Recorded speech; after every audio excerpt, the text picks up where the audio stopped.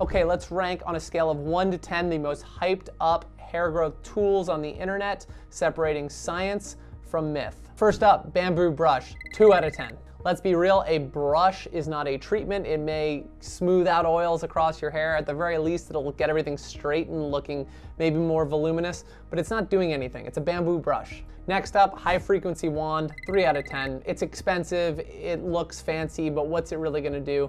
It may stimulate some blood flow or some, some sort of action in the scalp, but it's fancy, it's overpriced, it's not gonna do much. Next up, derma rollers interesting take. I'll give it an 8 out of 10, assuming it's not an actual derma roller. You're gonna want more so of a derma pen or something mechanical where the pen is going straight up and down into your scalp.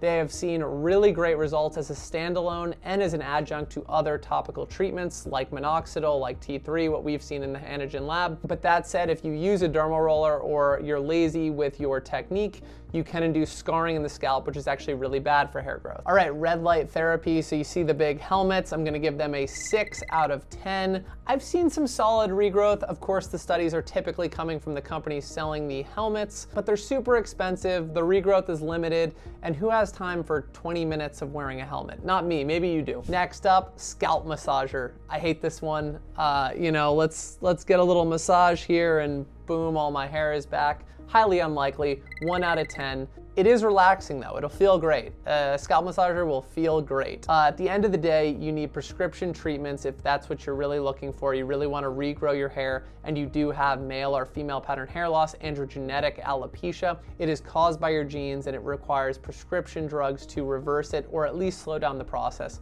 Of course, we sell all of them at anagen.xyz.